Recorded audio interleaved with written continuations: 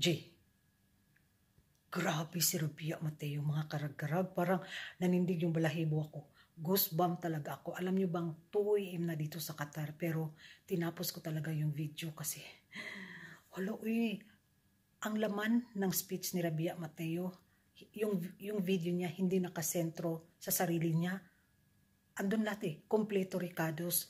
Nakafocus talaga siya sa advocacy niya.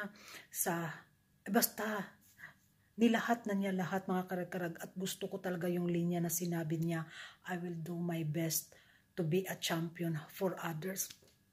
Yes. Yes Pilipinas. Yes. Whew. yun yung feeling ko. Yun yung nararamdaman ko.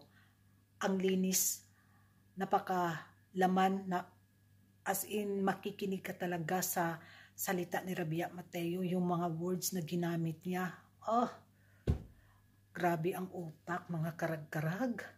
Hindi ko pa napanood yung mga ibang kandidata kay Rabia Mateo pa. So, titingnan ko mamaya or bukas pagising ko yung mga kalaban ni Rabia Mateo. But for today, for tonight pala, nitong madaling araw dito sa Qatar, nakarinig ka naman ganong wisdom, mga quotable na mga words, mga ah, Rabia Mateo will make history sa Miss Universe 69th edition.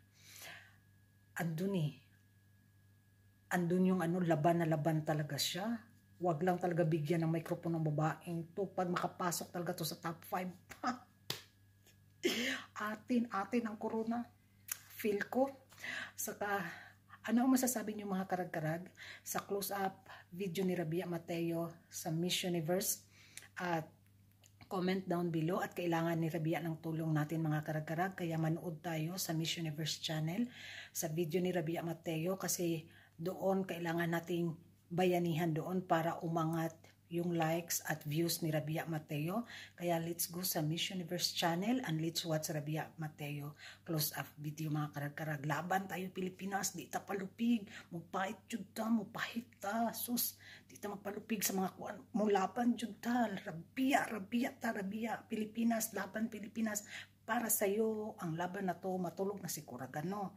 And thank you for watching mga karag-karag. Comment down below and have a matulog na ta. Bye-bye na.